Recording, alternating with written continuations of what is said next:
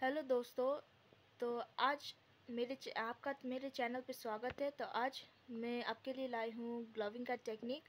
तो आपको पता होगा कि ग्लव्स क्यों पहनते हैं? What is the purpose of gloving तो ग्लविंग का पर्पज़ एक ही होता है कि to maintain sterility during the procedures and to prevent the contamination of the micro organisms या to prevent of the infections तो इसलिए हम ग्लव्स को पहनते हैं और ग्लव्स पहनने का दूसरा पर्पज़ क्या होता है कि जब हम ब्लड या दूसरे सिक्रेशंस या एक्सप्रेशंस को टच करने होते हैं, यानी उन्हें हम छूते हैं तो वहाँ से हमें इन्फेक्शन हो सकते हैं। तो इसलिए हम उसे इन्फेक्शन को प्रिवेंट करने के लिए ग्लव्स यू को ग्लव्स को यूज़ करते हैं। तो आपको स्टेप्स तो पता होगा कि ग्लव्स कैसे पहनते होंगे। तो मैं आपके लिए ये रिटर्न डेमोन्स्ट्रेशन भी करूँगी। तो आपका यहाँ पे स्टेप्स फिफ्थ स्टेप है, जो कि एक स्टरल ग्लव को यहाँ पे आपका दिखाया है। तो यहाँ पे मेरे पास ग्लव्स है, लेकिन मेरे पास स्टेरल ग्लव्स नहीं है तो मैं इसे यूज़ करने वाली हूँ, लेकिन आपको मैं प्रोसेस सब दिखाऊँगी। तो शुरू करते हैं। पहले यहाँ पे आपका स्टेरल ग्लव्स यानी एक ट्रे में रखना है क्लीन ट्रे मेरे पास ट्रे नहीं है तो मैं इसे यूज़ कर रही हूँ बोर्ड को।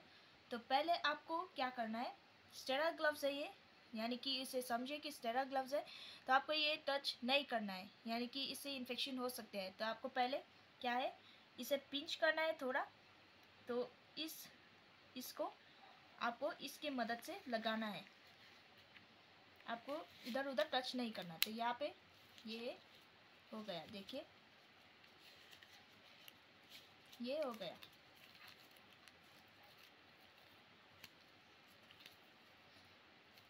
ये है। तो दूसरा क्या है? ये इसे क्या कफ कहते हैं। तो दूसरे हाथ की मदद से हम इसे ऐसे टच करेंगे और फिर दूसरे को लगाएँगे ऐसे।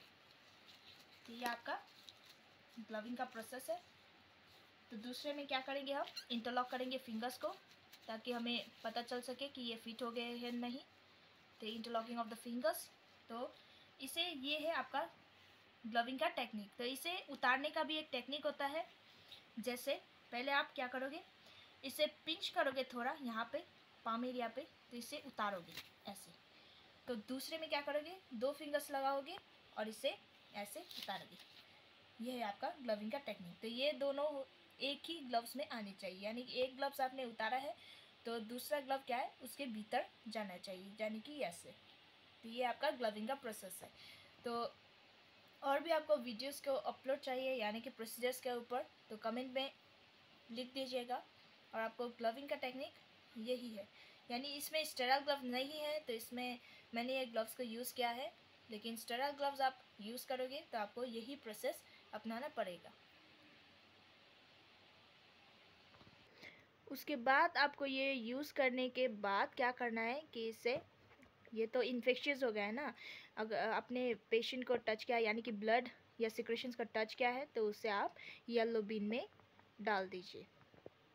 तो देखते रहे मेरे चैनल को।